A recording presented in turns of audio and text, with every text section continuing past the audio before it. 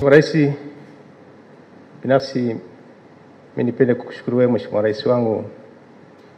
Leo hii tumeshuhudia kiapo ambacho kinaenda kuongeza nguvu ya utendaji wa kazi katika ofisi ambayo naiongoza kwa ridhaa yako, na kubwa zaidi, naomba niwapongeze sana sana sana waliopata fursa hii ya kuaminiwa na Dr. John Pombe Magufuli kuweza kwa ajili ya kwenda kuwahudumia wananchi.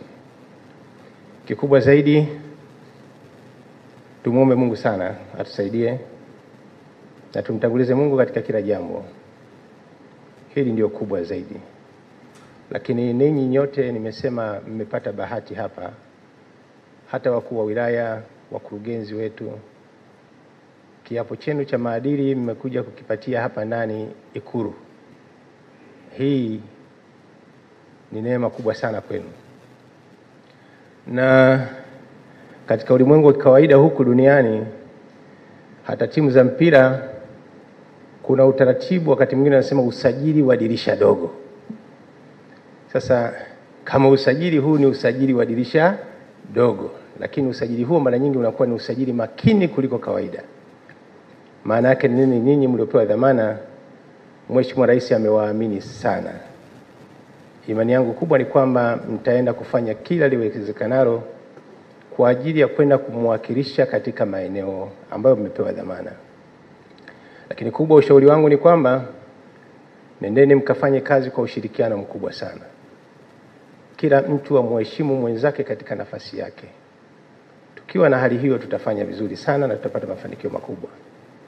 Rais ni mtu, urais ni taasisi. Sisi tuliopewa dhamana katika maeneo mbalimbali, jukumu letu kubwa ni kuweza kumsaidia Mheshimiwa Rais. Tukifanya mambo yasiyo sawasawa, sawa, tunamtweza rais wetu, tunamhuzunisha rais wetu. Rais ana mambo mengi sana ya kufanya, hana sababu anakaa singine anatufikiria sisi, kuna vitu vingine inawezekana viendi sawasawa. sawa. Imani yangu sisi, kila mtu katika nafasi yake aende akafanye jambo ambalo litampa faraja Mheshimiwa Rais akiona watu wake ambao wamewapa dhamana wanafanya kazi vizuri huko walipowapa dhamana. Lakini kubwa, kila mtu amheshimu mwenzie, mkubwa amheshimu mdogo na mdogo amheshimu mkubwa. Tutapata mafanikio makubwa sana. Najua mkuu wa mkoa wa Arusha umepata fursa, Mheshimiwa Rais amekuamini, ni fursa, fursa kubwa sana. Nenda kaishi vizuri na madisi wako wa chini, lakini ni ujumbe vile vile ambao ni ujumbe mpana.